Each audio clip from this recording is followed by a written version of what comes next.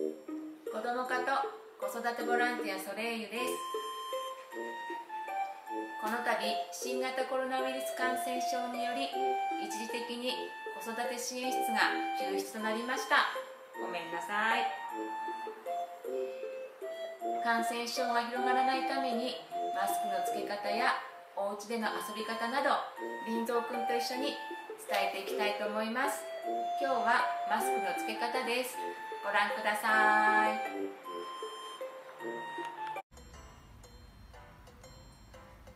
今日は正しいマスクについてご説明します。マスクを当てたら鼻のところにしっかりと合わせて紐を耳にかけます。鼻の頭を持って顎の下までしっかり覆ってください。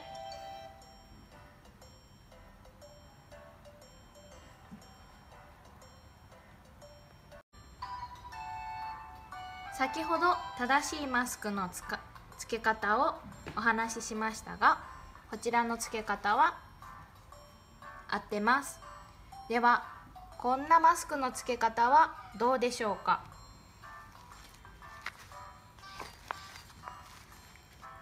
お花が出てる。マスクを顎にかけてる。マスクはきちんと鼻の形に合わせて顎の下までしっかり覆うようにしてつけてください。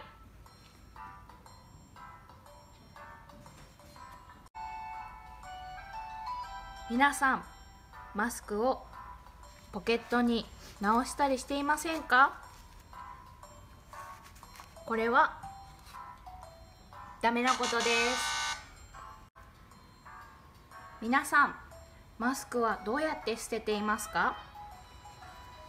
内側が汚いと思ってこう外側にして捨てたりしていませんか？これはダメです。実はウイルスはマスクの外側についています。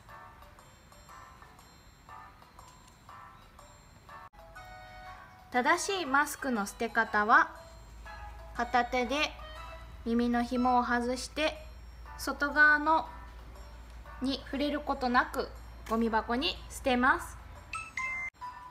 マスクをしていない時の咳エチケットについてお話しします。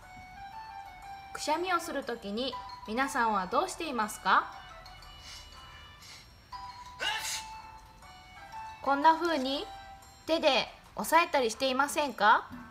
これはダメです。正しい咳エチケットはこうします。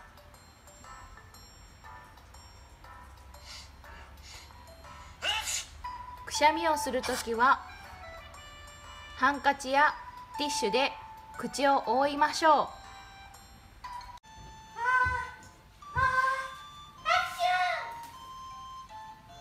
んな風にくしゃみや咳でしぶきが2メートル飛びます。なので先ほどお伝えした咳エチケットをしっかり守りましょう。皆さんどうでしたか？参考になりましたか？また支援室が開いたらぜひ遊びに来てね。待ってるよ